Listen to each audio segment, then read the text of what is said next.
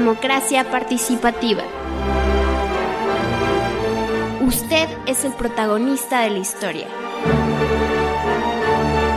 Porque todos cabemos en una democracia sabiéndonos acomodar.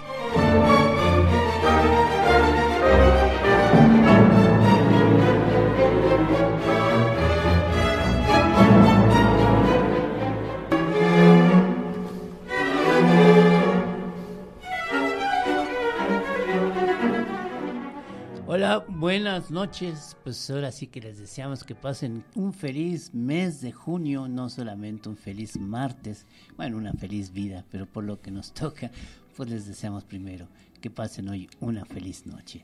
Pues ya saben que el tema, inevitablemente, el tema de hoy es las elecciones. Y quiero decirles que tenemos, y es un lujo para nosotros y una satisfacción, tener al, al consejero electoral, don Ukip, yo nunca puedo mencionar bien su nombre ahorita que nos lo don Ukip Espadas, que nos va a hablar precisamente cuál es, cómo vemos el panorama electoral, cómo quedó y la experiencia, la experiencia que se tuvo desde el INE en este domingo 2 de junio. ¿Cómo estás, Ukip? ¿Me oyes? Bien, muchas gracias. Pues cuéntanos, este, ya te presentamos, cuéntanos, ¿qué sientes? ¿Cómo estuvo el 2 de junio? ¿Cuál es tu opinión? ¿Qué es lo que va a suceder? Vamos, un poco de visión, ¿cómo lo ves? Bueno, mira, eh, ayer tuvimos una participación que resultó ser mediana, si bien en la mañana eh, hubo largas colas que parecían anunciar una eh, participación muy alta, con la participación tres puntos porcentuales menor que la 8. Por lo demás, el INE eh, pues cumplió con sus tareas como lo hace normalmente. Eh, organizamos el proceso a lo largo y ancho de todo el país y eh, ciertamente en la inmensa mayoría de las secciones y casillas no hubo ningún tipo de problema. ¿Y cómo quedó el resultado? ¿Qué es lo que puede suceder con la amplitud con la que ganó eh, la coalición de Morena, el PT y el Verde, ¿qué es lo que puede suceder? Visualicemos qué va a pasar. No, no, no voy a hacer especulaciones sobre líneas de gobierno en el futuro, no me corresponde. No, me decía por lo que como quedó, cómo quedó Sí, las dos bueno, los conteos rápidos dan el, triunfo de Claudia Sheinbaum con una ventaja de algo así como 30%. Eh, por ciento y le dan a la coalición gobernante eh, mayoría en ambas cámaras, eh, probablemente eh, arriba de las dos terceras partes. Ya, mira, yo lo que tengo como deseo de hablar contigo, si no se va a poder en estos minutos que nos quedan, pero es de una propuesta que existe sobre una nueva ley electoral y quisiera ver ¿Tú qué sientes? ¿Esta ley electoral está bien? ¿Qué cambios debe tener? ¿Tú que tienes la experiencia desde... Bueno, hay muchas cosas en la, en la ley y en la constitución. A ver, yo lo primero que creo es que este país tiene que discutir su sistema político eh, en general, el sistema político mexicano, eh, para redefinir lo que quedó pendiente en el año 2000 con la presidencia de Fox, que son las características de la democracia mexicana del siglo XXI hasta el día de hoy seguimos con las bases estructurales eh, establecidas para un partido de Estado en el siglo XX. Y eso tiene una gran cantidad de eh, pues disfuncionalidades. La primera de ellas es que los resultados de la elección de las cámaras distan mucho de la proporcionalidad que tendría que caracterizar una democracia en un país tan diverso como México. Es decir, a mí me parece que el primer gran tema electoral que hay que discutir es la representación nacional. Y sobre la base de eso, eh, una diversidad de cosas. La articulación de los pueblos indígenas como eh, parte fundante del Estado mexicano a los órganos de poder, eh, las características del Estado mismo en términos de la división de poderes, quién debe decidir qué, es adecuado que eh, una sola persona sea titular de la jefatura del Estado y de la jefatura del gobierno.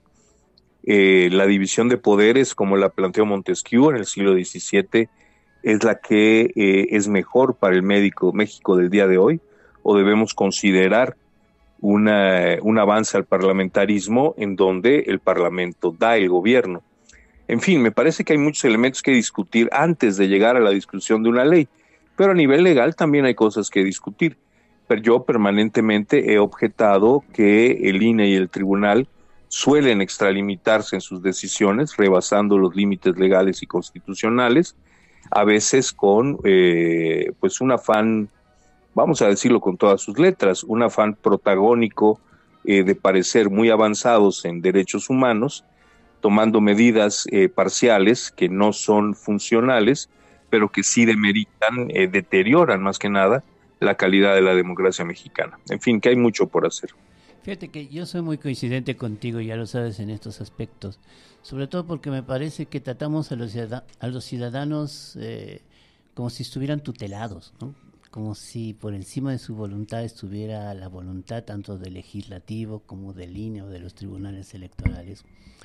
Eh, y, me, y eso no es ciudadanía, ciudadanía es que respetemos su voluntad como sea, ¿no? Efectivamente, efectivamente. Yo creo que en la democracia, espero que estemos de acuerdo, yo creo que en la democracia no hay tabús, pero sí hay algo que es sagrado, que es la voluntad de los electores. Y pasar por encima de eso se ha dado como muy común teníamos el caso eh, precisamente de Xochitl Galvez, cuando ella se postula para ser la alcalde, en aquel entonces delegada de, de, Miguel Hidalgo, no tiene, entre otras cosas, su credencial de elector. Entonces el Consejo no le da el registro. Y la orden que llega del Tribunal Electoral es que se le tiene que dar el registro porque se está violentando su derecho a ser electa. Y la pregunta que nos nació es cómo está eso de que existe el derecho a ser electa si no tienes tu credencial de elector, pero no existe el derecho de ser elector si no la tienes. Me refiero si no tienes tu credencial de elector, entonces no hay derecho humano según, según los eh, tribunales electorales. Y eso me parece a mí que es muy representativo, significa un orden. Si tú eres elegible, tienes más derecho que si tú eres elector. Cosas de ese estilo se han dado, o no tienes alguna experiencia parecida o algo así a ver, es que tú pones que desde hace ya demasiado. El tribunal considera los procesos electorales y sus por la disputa de entre las personas eh, cargos y se olvidan del derecho fundamental de las elecciones, que es el derecho de las personas a elegir a sus gobernantes y a sus representados. Sí, estoy de acuerdo. Por eso quisiera invitarte, ahora ya que hoy tienes poco tiempo, pero quisiera invitarte a que algún día con mayor tiempo, con mayor profundidad, podamos hablar sobre los procesos electorales, sobre las electorales, si hay otras experiencias en el mundo de las que podamos eh, eh, comentar y cuáles son las opiniones que tenemos de qué cambios debería tener una ley, una ley en ese sentido electoral después de todo la gente como que no alcanza a entender que la base de nuestros derechos en general son se dan en la legislación. De la calidad de los diputados y diputadas que tengamos tendrá que ver mucho de la calidad que tengamos los ciudadanos eh, en términos de derechos y de calidad calidad humana en pocos sentidos. Por eso a ver si me gustaría que nos buscáramos una fecha para hablar con mayor fondo de esto y bueno, ya comentaremos si nos sigues escuchando en el programa qué es la experiencia que nosotros tuvimos y qué es lo que pensamos de este proceso que quedó muy recargado por un lado, pero ya lo comentaremos. Muchas gracias, Ukip. Muchísimo gusto, René. Buenas noches. Buenas noches. Pues, ahora a ver si ahora sí, sí podemos encontrar a Antonio. Pues bueno, ya escucharon la opinión de Ukip, nos, nos, dicho que, nos dijo que teníamos poco tiempo con él, tendríamos solamente unos 10 minutos, ya los aprovechamos. Para hablar, como él dice, pues lo que toca al INE, él cumplió al INE sus funciones. Lo que tiene algunas, dice Talentina, que al ratito le vamos a dar la voz, como que a medias, pero lo que, lo que viene, lo que sigue, es, es ver... Eh, ¿qué va a pasar? Un poco de hacer, no especulación, pero sí una idea de cómo, qué puede pasar en este país, de cómo quedaron las cosas. Sí, sí, sí, yo, yo creo que, pues bueno, el INE sí cumplió, nada más que, debo decirles, que no nos dio ni una botellita de agua. Fíjate que igual yo también... Ni nos dieron un maldito sándwich en una jornada africana de 7 de la mañana a 5 de la mañana el otro día. Yo también estuve en casilla. ¿Eh? y los partidos sí, llegaron con la alimentación. No, los partidos parecíamos niños pobres. los de los partidos comiendo y nosotros viendo. Yo, les decía, ¿ya ven cómo los partidos son más organizados que el INE? Sí, claro. bueno, en lo particular hubo algunos ciudadanos que nos regalaron este un garrafón de agua con vasos y otro trajo un montón de botellitas. Y ahí otra vecina nos trajo sándwiches, pero del INE brilló por su ausencia. ¿eh? Y, en, y, en, mi casilla, precisamente, la chica del INE, que era muy simpática, por cierto, eh, dice que de su bolsa les invitó sí, sí, sí, una pizza. ya no quiero hablar más de Italia porque... no, no, no, no, no, no, vamos a caer con Meloni otra vez. no, pero, pero sí, es, creo que es un poquito... No sé qué pasó, pero ¿qué les cuesta, hombre? Un, un poco de agua, este, a una una torta ya, hombre, pero... Pues, les falló algo muy democrático, pensar en los demás. Sí, porque nadie se rajó, ¿eh? La base de una democracia. La gente estuvo dando, le digo que contar vos. Llegó mucha gente a votar muy temprano, muchísima eh, gente. Eso que cuenta UKIP, que siempre me corrige que es con doble U, yo nomás le pongo con una U. eso que nos cuenta aquí de que la gente se presentó a votar muy temprano, también pasó en mi casilla. Sí. A las 12.01 aparecía que la votación iba a ser total y a eso de las cuatro ya casi no se presentaba ni un alma. Sí, en el caso, como que hicieron una pequeña pausa para comer, luego llegaron un poco más, pero ya para las cuatro y media, cinco de la tarde, llegaban esporádicamente. Y yo pensaba, pues por eso tenemos ahí una serie de datos que nos mandaron. No sé si en realidad, dice Ukip que que votó hasta un 3% menos que... Menos que la vez anterior. Estaban diciendo que se habían roto el récord y que no sé qué. La verdad es que eh, esta, por ejemplo, lo que dice UKIP son datos duros, datos sólidos, datos que no tienen ninguna intención. Muchas pues televisoras y nunca se había votado tanto. Pues de alguna manera yo le diría, pues nunca habíamos sido tantos. Sí, es como muy tonto, ¿no? Es la elección más grande de la historia, pues la que sigue esta va a ser todavía más Un poquito grande. más grande porque la que sigue nuestras granjas niñícolas no desmerecen. Y luego también dicen, es que es histórica porque va, llegó una mujer al... Eso sí, yo creo que sí. Pues claro que sí es un antecedente importante, pero... Es un cambio histórico, sí. en un país de machos, sombrero hay, hay que tener cuidado con las expectativas, porque los cambios, que llegue una mujer o que llegue un hombre no ha cambiado nada, por ejemplo, en las gobernaturas.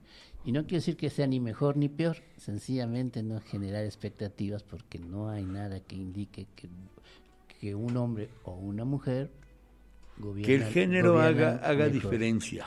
Que exactamente. Porque pues hay, hay, hay señores que no rebuznan porque Dios no quiere, y hay señoras que de todos se sueltan a chillar. Entonces, no importa el género, importa la eficiencia y la capacidad de gobernar, este trompo no cualquiera se lo echa la uña, ¿eh? Es un país grande, complicado, muy diverso.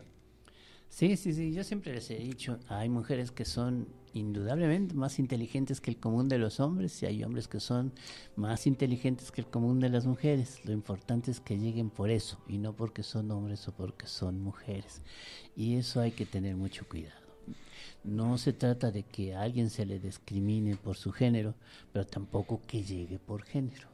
Sí, por ejemplo, en Latinoamérica, ¿quién tenemos? El presidente en Argentina, tuvimos Bachelet en Chile, está Dilma Rousseff en, Brasil. y creo que hay otra en Costa Rica o algo así, no, sé. creo que sí, en Costa Rica. Hay, una más. Costa Rica es como muy abierto, yo viví allí un rato y tuve, tomé unos... Eh, un diplomado. Y como que Costa Rica es muy abierto. Costa Rica es a todo En ciertas medidas, porque por otro lado es demasiado religioso. bueno, pues cada quien este, dice, no, no, Mira qué mujer más guapa, pero tiene frío en los pies. Pues no le hace, hijo. ¿No? Sí, tiene que tener algún defecto, pero yo creo que Costa Rica es un gran país. ¿eh? Sí, sí, sí, en, términos generales es un país que no tiene ejército, pero bueno, no nos vamos a ir a esos ejemplos. No, no, nos ha hablado Antonio, no nos, este, ahí está. ¿Ya está? Sí, Antonio. Échatelo. ¿Nos oyes, Antonio? Sí, pues ya, perdónanos, ya te damos. ¿Escuchaste al consejero o, no partes de, de haberlo escuchado? sí, es que, ¿por qué se oye como interrumpió de repente acá? A ver, háblanos, Antonio. Eh, sí, te escuchamos, pero intermitente. Y como si tuvieras muy pegado el... Ahora, ahora, ¿cómo me escuchas? mejor, mejor. Sí. Bueno, bueno. Sí. Ya, excelente.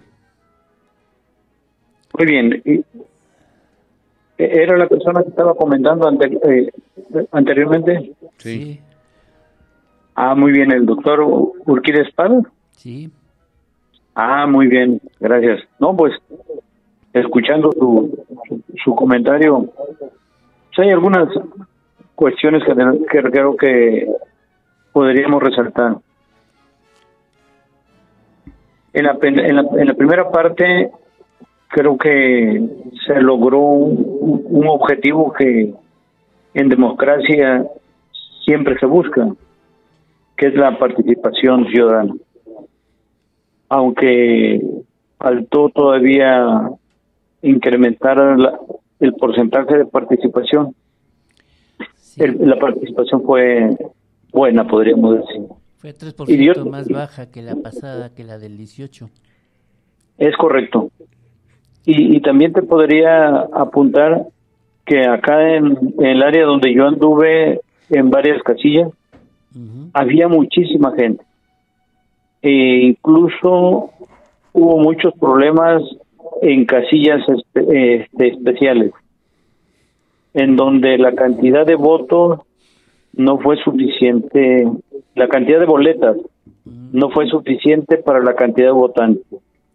Y creo yo que esto ocurre mucho en las zonas turísticas, porque hay una gran cantidad de población que es, esas fechas se mueven, se mueven de sus lugares de origen o donde se encuentran este, registrados electoralmente y eso hace que haya una necesidad muy elevada de boletas en las casillas especiales.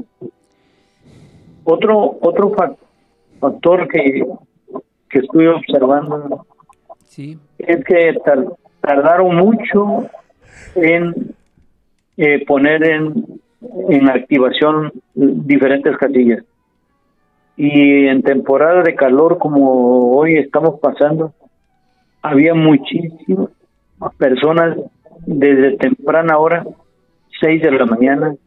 Hubo quienes comentaron que estaban desde las 4 de la mañana, principalmente en casillas especiales otra vez. Y este creo yo que ahí el INE le falta planeación y te, tomar en cuenta estos detalles. En lo que se refiere a los resultados, me parece que prevalece aún ese sentir de una competencia mal concebida, porque definitivamente que va a haber perdedores y ganadores, y que se tienen que respetar las reglas. El árbitro está en su función y todos tienen que mantenerse en la, en la postura de espera de lo que diga el, el árbitro, en este caso el INE. Y no tienen por qué enrarecer el, el ambiente con posturas y declaraciones que lo único que hacen es confundir a la ciudadanía. Y eso es para todos los, partidos políticos. El, el, la, la participación de la ciudadanía demuestra que hemos superado algunas cosas del pasado.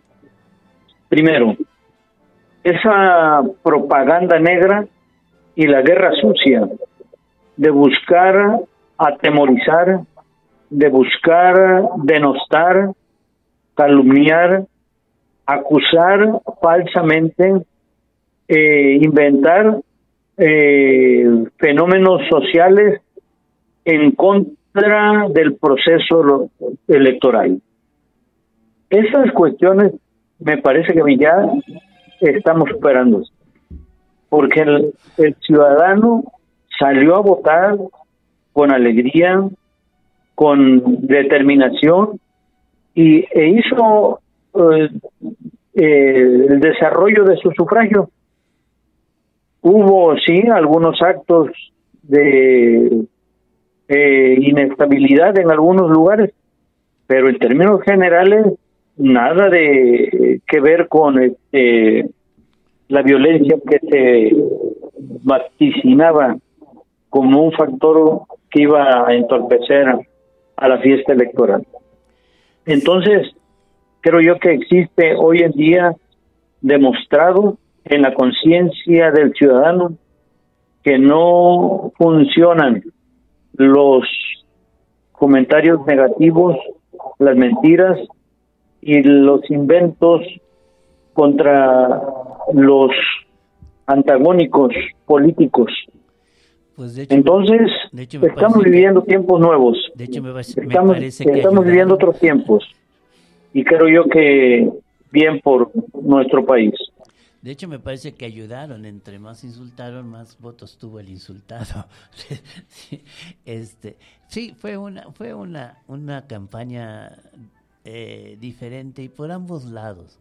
Se inició, no fue de tres meses, se inició con el pretexto de que estaban buscando quién eran los candidatos, las elecciones primarias, digamos, quiénes eran los que se iban a escoger los partidos, en un proceso que debe de ser del partido.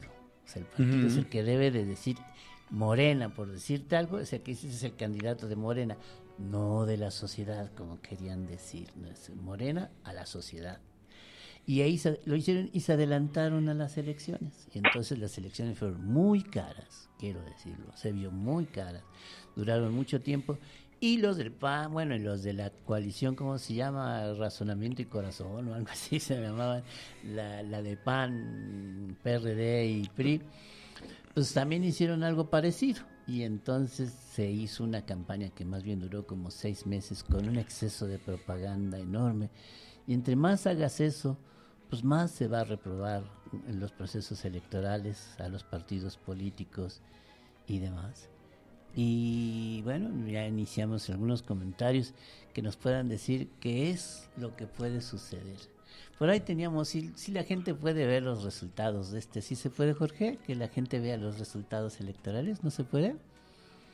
Este, pero pues bueno, se obtuvieron, se dice, la suficiencia para para tener... Eh, la maniobra completa en las cámaras. Para tener lo que se llama la votación eh, cuando de las dos terceras partes.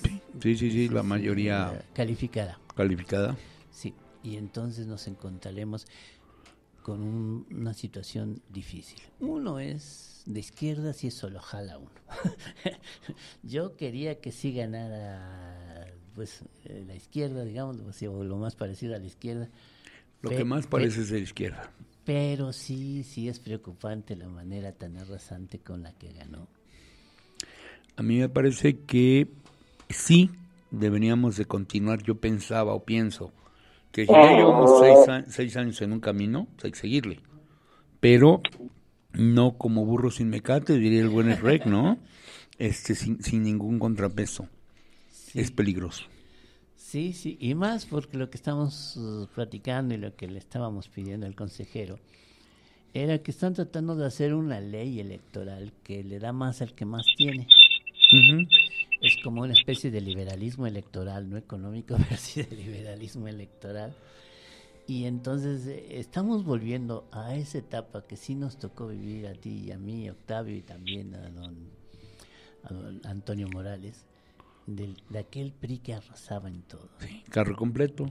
Sí, y lo que se, a una enorme demagogia que estamos viviendo y a esa preocupación que yo quiero ratificar de la calidad de, diputación que, que tenemos o que vamos a tener, todo indica que van a ser gente para levantar el dedo a favor de lo que diga, opine todavía su líder, ¿no? Yo creo que la calidad de nuestros diputados es, patética, digamos, en algunos casos, ¿no? Y así como antes requería una licencia para el micrófono, debería que haber una prueba de conocimientos mínimos para poder ser diputado, ¿no? Debería haber una democracia interna fuerte. ¿Y eso qué quiere decir? Que gane el más elocuente. Y el que tenga más elocuencia, pues debe tener un algo, un algo para convencer. Pero con esto de que son votos conseguidos por este preguntándole a la población, que es increíble eso, de que sea por este, estadísticas y no sé cuántas cosas más. Por ejemplo, ya ahorita viendo el asunto, cuando iban a quitar el aeropuerto de Texcoco, se lo tenían que quitar por utilidad pública. ¿Cómo hacen una consulta? A todo el mundo, cuando más del 70% de los consultados no habían visto un avión más que en televisión. Entonces, carambas, o sea.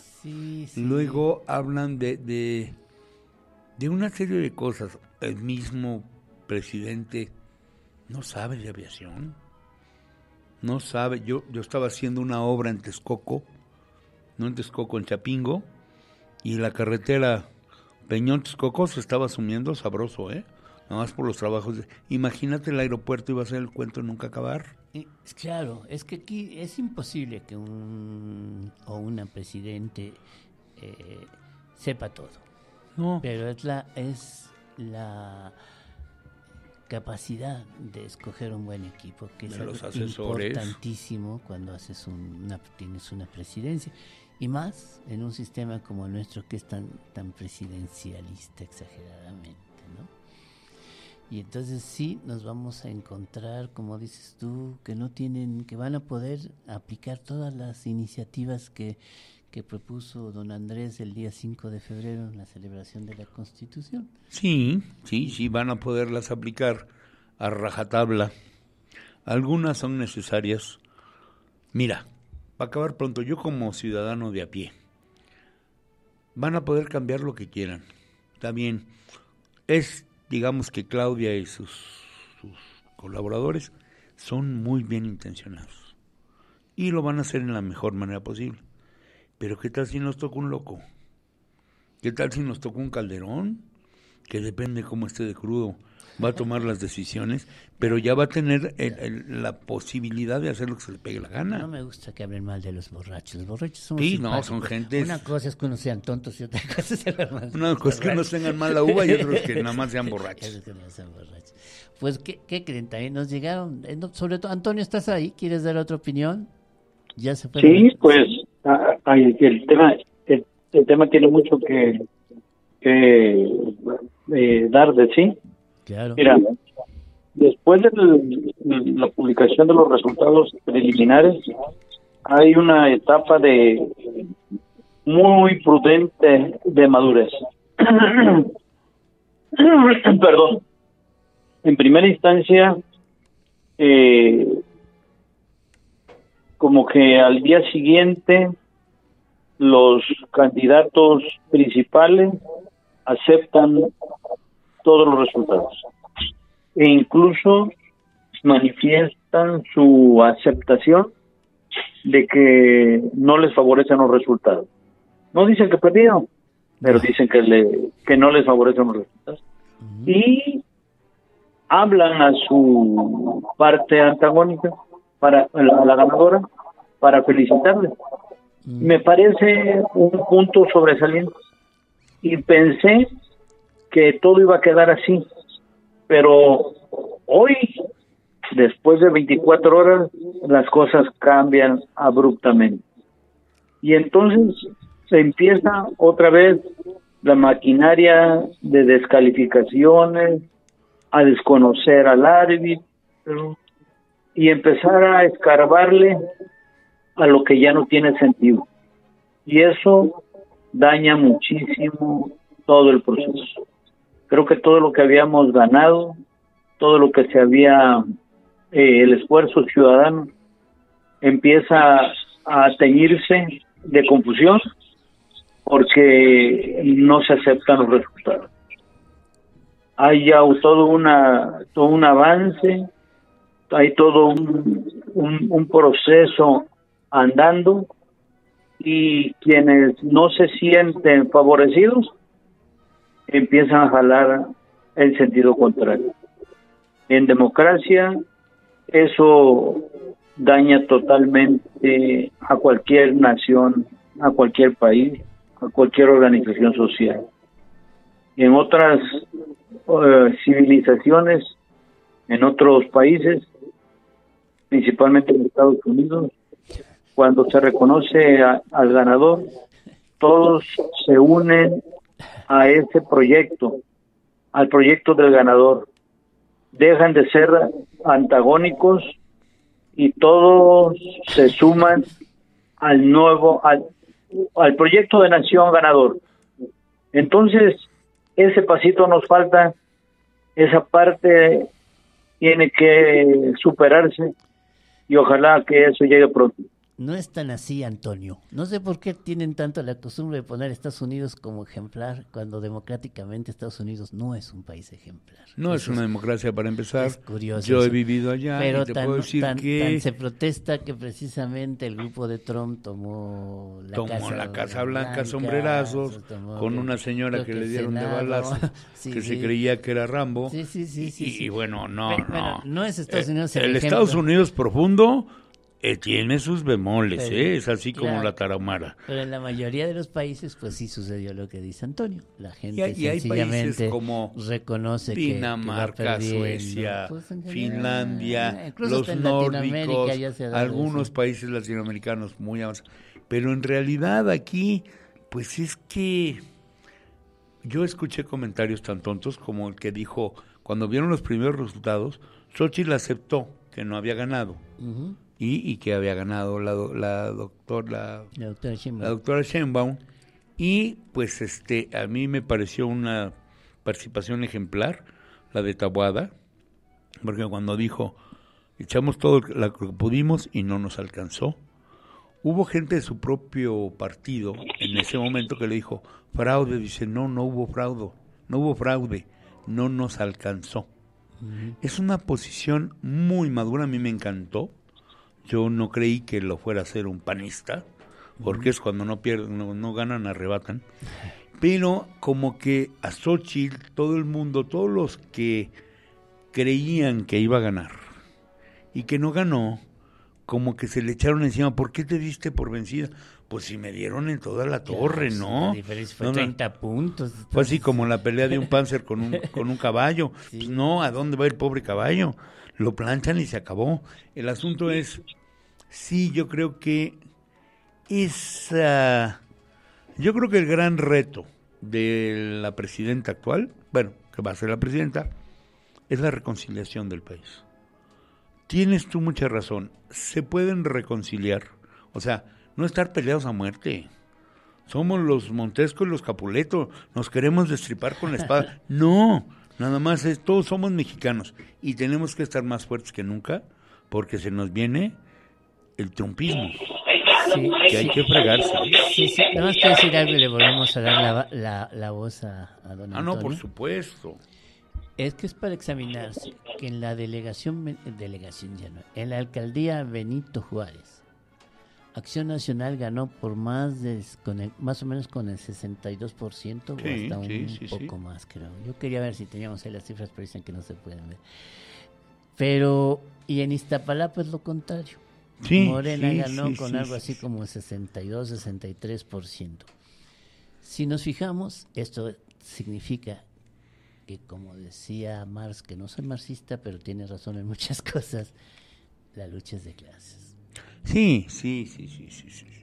Y que le estamos soltando como muchas cortinas de humo a esta realidad, el tema hombre, mujer, indígenas o no indígenas, etcétera, cuando la lucha es de clases Y lo que tiene que hacer una democracia es hacer universalmente accesible los, eh, los bienes materiales y, e inmateriales.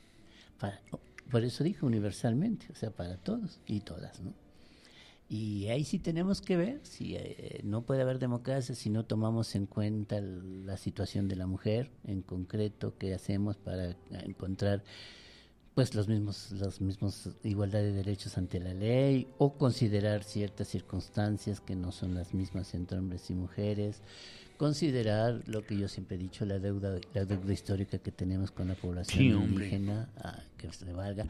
Establecer los puentes de un diálogo constante para ver que, cómo se hace eso. Pero no equivocarnos. La lucha es de clases. Sí es de clases.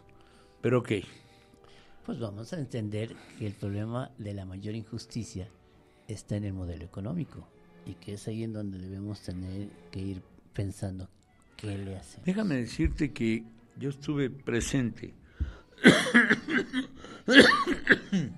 Mi esposa era escrutadora. Eh, eh, la, la, esposa de, de... Estábamos ahí y yo me pegué con mi amigo y ahí estuvimos. Y entonces yo estuve observando desde mi posición los votos y luego se plasmaron en las este, en las eh, vaya, en las sábanas de la coalición. Esto es importantísimo. Había votos PAN PRD, había votos PRI PRD. No había uno solo. PAN PRI. Ah, No, uno, ni uno, ¿eh? A mí no me tocó ver uno. Juntos. Juntos. Ah, igualmente. PAN PRI nunca, o sea. Aquí casi todos fueron del PAN para. Para con el PRD, o sea. Ganó el PAN ahí casi. No, acá ganó el PAN también. pero, nunca votaron pero el PRI tuvo 23 votos y el PAN creo que 185. Acá fueron ochenta y tantos contra 30 más o menos. Y el PRD casi nada, eso sí. Nadie votó el PRD yo creo que ya desapareció pero nunca votaron juntos PAN-PRI. Sí, nunca. Esos fenómenos hay que estudiarlos de mayor manera. Esa, esa, no, es que son antinaturales, es agua y aceite. ¿Y más con el PRD? Sí, bueno, el PRD, pero el PRD pues decían, ya pues si vamos a votar por la coalición, ambos, tanto priistas como panistas, decían, vamos a echar la mano al PRD. Pero a los de enfrente, los del PAN, no, hombre. Y los del PAN al PRI tampoco. Eso es bien interesante. Yo creo que las marcas, los partidos, ya pasaron una mejor vida. Esos dos, cuando menos. Yo no les veo futuro. ¿Cómo ves, Antonio? Lo como que tendremos que analizar qué es lo que se tiene que hacer en México. Yo creo que no es posible continuar con los mismos partidos. Yo lo he dicho en varios programas. Si, si, hacemos un análisis, todos los partidos en México, con excepción del PAN, tienen la misma raíz. Todos vienen del PRI. y el PRI es una, escuela más que un partido. Fue una gran escuela. Sí, dinos, Antonio. Sí, es correcto. Fíjate que esa es una situación que va a tardar en procesarse, porque pasamos muchísimo tiempo acostumbrados a una manera de ser política, ya sea buena o mala pero al final de cuentas fue una forma de ser política. Y eso quedó muy cimentado en la mente ciudadana. El, el presidencialismo fue algo que se amalgamó mucho con la con el sistema del virreinato, con el sistema de, de imperios entonces, esa, ese sentido presidencialista, pues nada más cambió de cambió de, un, de nombre de un aspecto al otro. Y si continuamos por mucho tiempo con, con ese sistema, que te vuelvo a repetir, pues se arraigó muchísimo en la, en la mente ciudadana del mexicano. Vamos a vamos a pasar tiempo para poder eh, reemplazar o irnos adaptando a una democracia más participativa, es uno de los objetivos de nuestro programa. Sí. Incentivar esa, eh, esa participación del ciudadano, que no eh, permanezca inactivo y menos aún que siga esperando que el, el presidente, por medio de actos mágicos, vaya a resolver todos los problemas del país. Y eso, eso, eso va a tardar mucho tiempo. Y, creo yo que tiene que ver mucho con la educación cívica. Sí. Pues es lo que pretendemos en este programa. Como tú dices, somos una gotita que quiere producir marea, por lo menos. Sí, sí, sí. por lo menos marea, ojalá una ola, ojalá fuéramos algo más fuerte que eso, pero somos, ponemos nuestra gota, lo que de nosotros corresponde, para que la gente tenga mayor conciencia social y entienda que debe participar en política. Sí, creo que lo más importante es participar. Mucha gente mayor a mí me tocó ver que fue a votar, ¿eh? Sí. En silla de ruedas, con bastón. Sí. Y, algunos otros este, se sostenían por obra y gracia del Espíritu Santo, pues este va a dar el changazo, pero no. Y tenían el profundo deseo de ir a votar.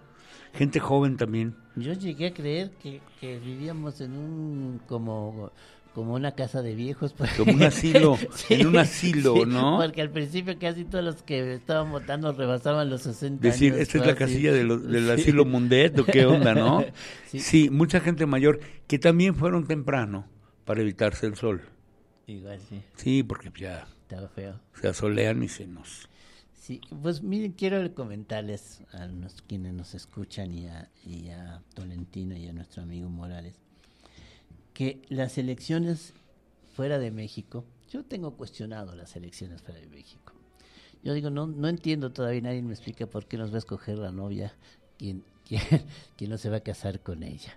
Pero pues bueno, ya le salen con que el corazón y siguen siendo mexicanos, pues sí, porque yo no, no estoy diciendo que cuando regresen tomen partido, lo que estoy diciendo es que no se vale eh, meterse en lo que no te afecta o no te afecta directamente. Bueno, ahí sí, permíteme, pero no te afecta donde estás viviendo.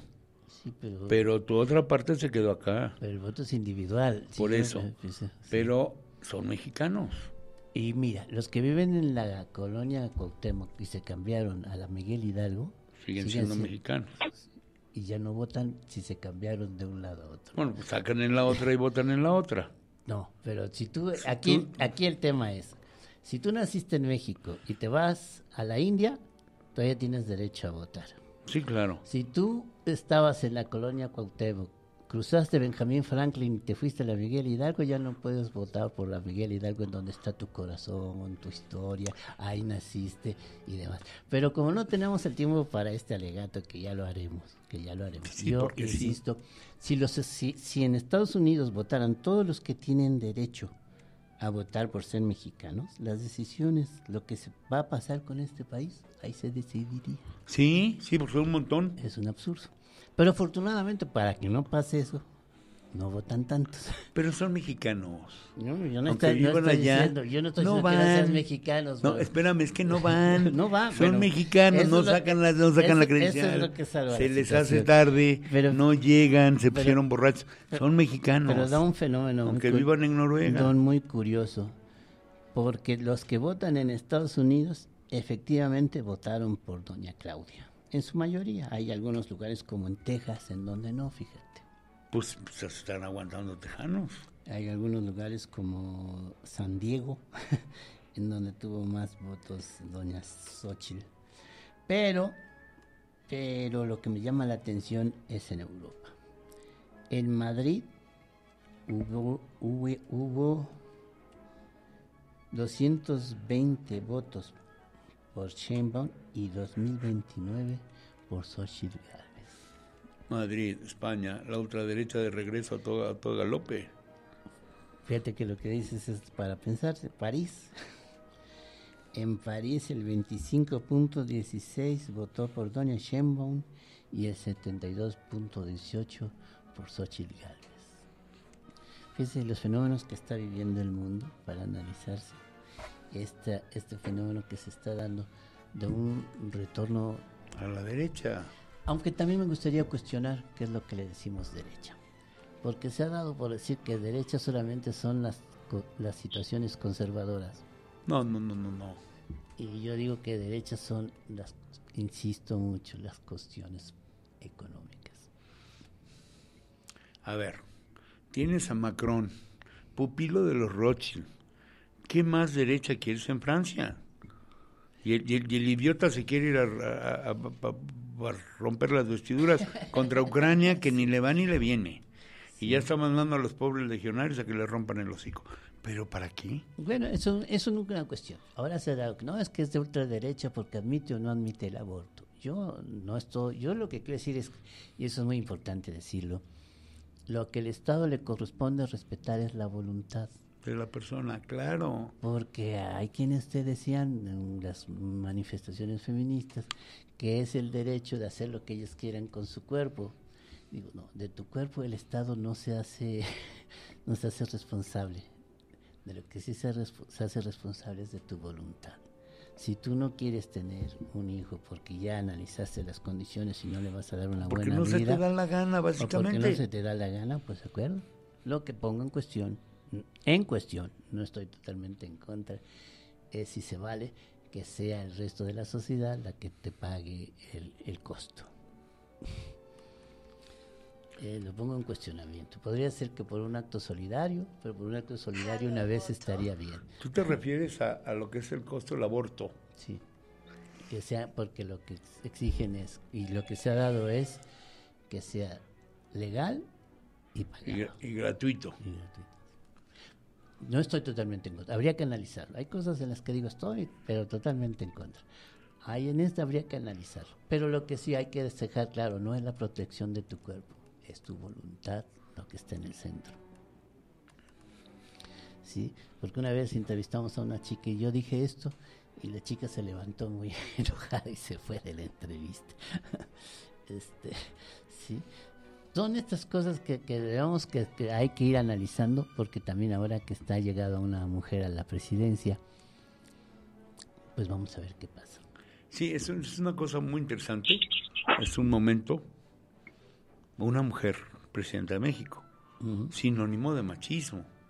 Por arriba y por abajo, México. es, es muy cuestionable. ¿Qué tan independiente es la mujer que llegó a la presidencia de un hombre que está detrás de una sombra? No sé, vamos a ver. Pero, a ver, si se vale a decir eso. A lo mejor tú, a lo mejor yo, somos la excepción que confirma la regla.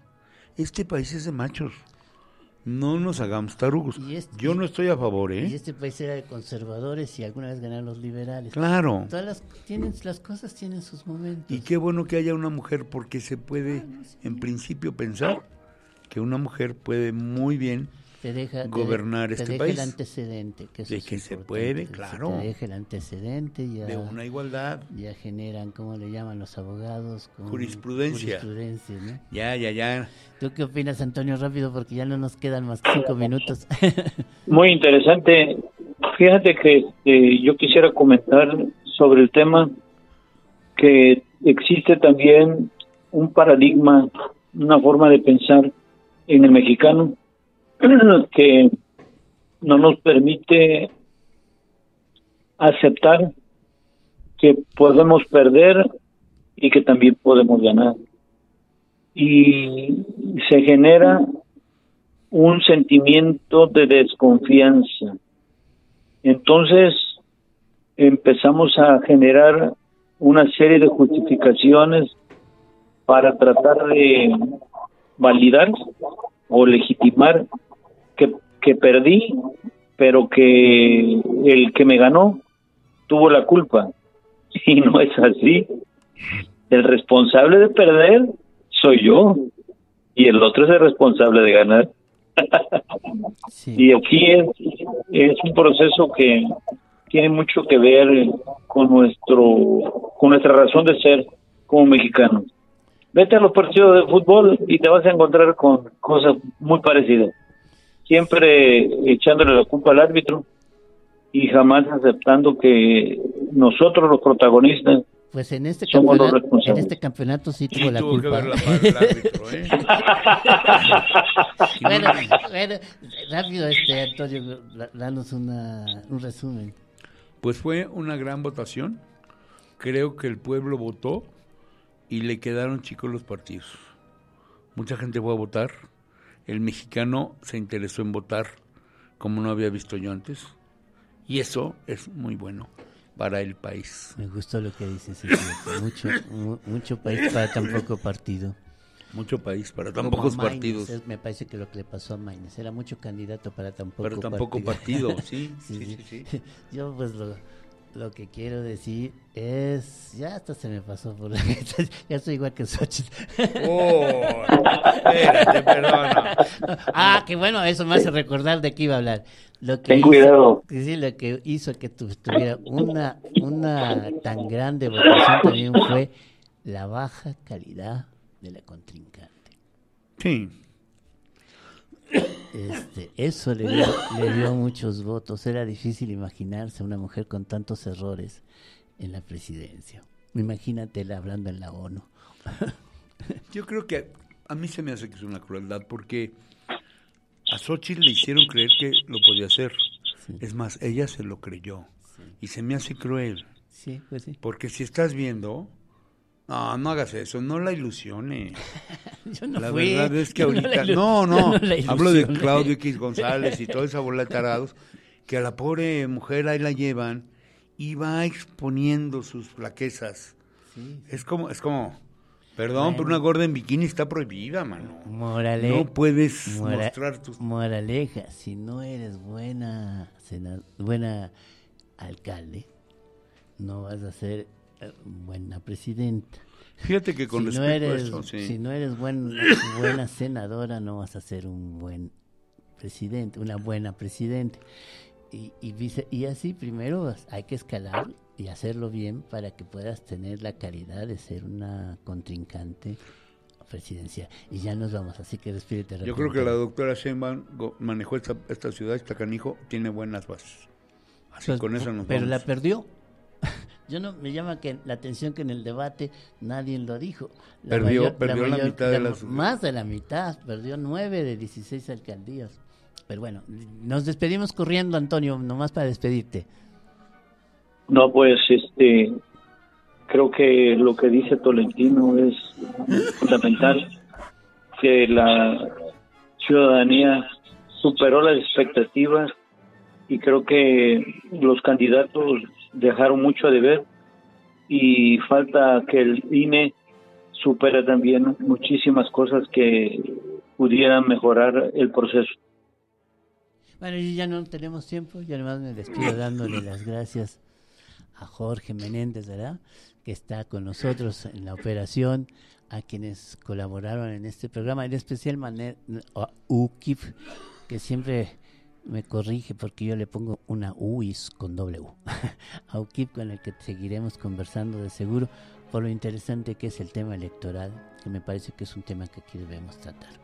Y me despido y muchas gracias. Excelente noche.